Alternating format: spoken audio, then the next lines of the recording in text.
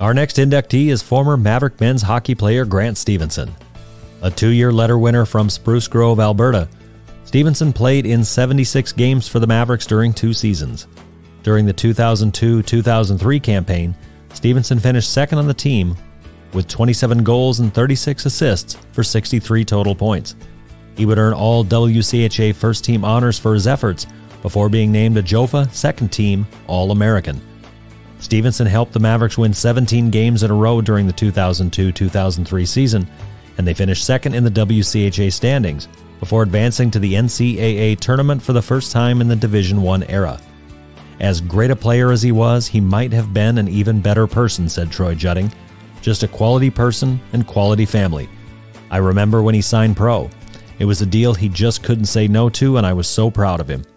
When he arrived at Minnesota State, he had to learn the difference between the junior game and the college game, but we saw he had all the skills and abilities to be a great college player right from the start. We were playing in Providence one time, and I asked him how good he wanted to be because it was time. After that, he realized the gifts he had and never looked back. If he came on the scene today, I have no doubt Grant would be playing a long time in the NHL. His teammates loved him because he was a great teammate in so many ways.